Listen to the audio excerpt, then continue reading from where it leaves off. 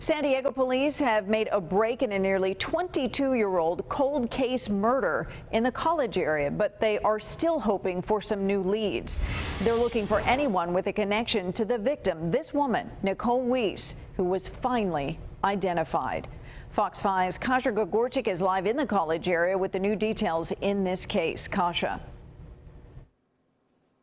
Yeah, good evening, Kathleen. And police were just pretty recently able to identify Nicole. So now they are hoping any new information will help lead to the person responsible for her murder. It was January 24th, 2000, when crews responded to a fire in this parking lot off College Avenue. Once on scene, the San Diego Fire Department was extinguishing the body of a female whose hands had been cut off. Next door to the church parking lot was an apartment complex. I conducted a witness check and spoke to a gentleman who had been outside moving his car. He could see the flames from the other side of the wall.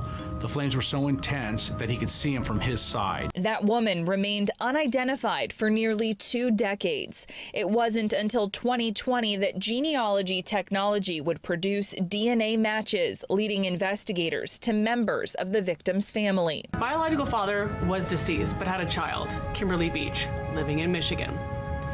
We talked to Miss Beach, who advised us she had a sister who lost contact with the family in the late 1990s. We obtained Kimberly Beach's DNA and compared it to Jane Doe. It verified they are biological siblings.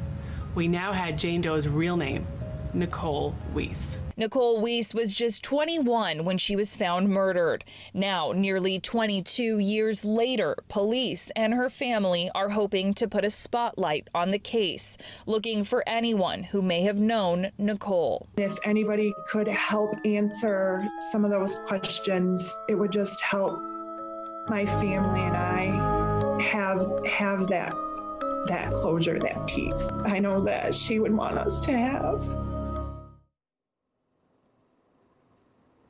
And anyone with information about this murder is asked to call San Diego Police Homicide Unit or Crime Stoppers. As always, you can remain anonymous.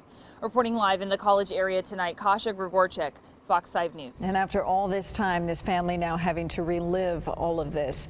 All right, our Kasha Grigorchik, thank you so much.